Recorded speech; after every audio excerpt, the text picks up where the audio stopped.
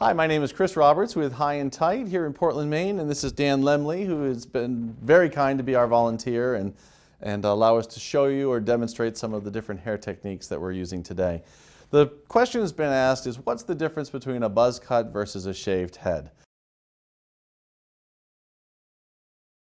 Um, a buzz cut does not necessarily mean a shaved head. It can, in some cases, can be very close to looking like a shaved head, but with a buzz cut, it means that you're doing a uniform haircut over the entire head. Now it's generally always used with a clipper. In this case, we just finished a previous video where we took Dan's hair and clipped it to a number three, which means he has three eighths of an inch of hair remaining all over his head right now.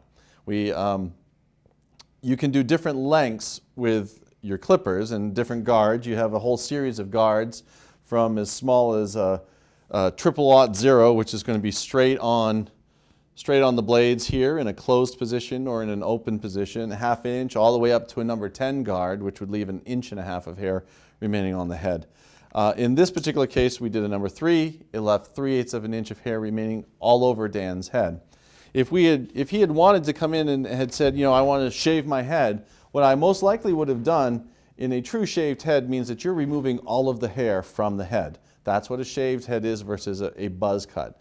A buzz cut, um, generally the shortest you can go is going to be what we call a, a 5 zero or a triple aught zero as well. Those are both really like practically right down to the skin.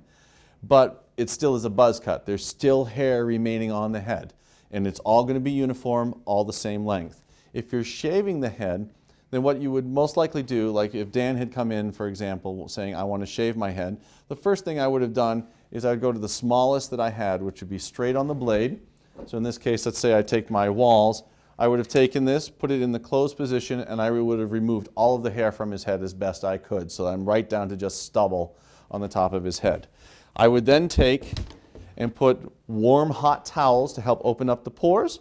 I would place them on top of his head here and then let them sort of you know love the head a little bit, make sure that the pores are getting nice and warmed and opened up. I would then remove them. If you have a lather machine, which is basically a hot lather machine, that's the ideal way to do a shaved head. You would then take the uh, required amount of hot lather, you would put that over the whole area that's going to be shaved on the top of the head, and you would then take a straight edge razor. Now, I don't have a straight edge razor because I don't offer this particular service, but what I can show you, it would essentially be like this feather razor, but instead of having a guard on it, if we were to remove that, it would be right down to the edge here, and just the very edge, which is a straight edge, is what would be used to cut the head. And when I say cut the head, I don't mean you're going to cut holes into it. You're essentially going to take and you're going to glide over the top of the head to remove the hair, right at a very particular certain set angle to make sure that you don't cut into the head. You just want to let the, the straight edge razor glide across the top and remove the hair. At the end of that time period, I would then clean off the hair, uh, the head of the remaining shaving lotion that's on there. I would probably take some cool towels to help close those pores again because you've just had a shaving experience. And then I would probably apply a little bit of what I like to call the bay rum, which is a basically it's a aftershave lotion. It's a hair tonic to apply to the head to help moisturize the head and to make sure that there's no um, you know, clogged pores or anything of that nature in it. So that's probably a longer explanation than what you may have been looking for, but the primary differences between a buzz cut versus a shaved head is the amount of removal of hair.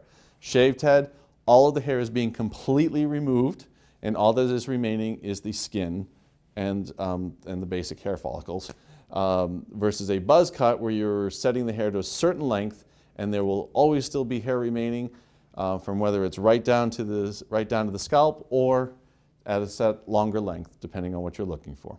My name is Chris Roberts here with High and Tight. Thank you again, Dan Lemley, for being with us, and we'll look forward to speaking to you again in the future.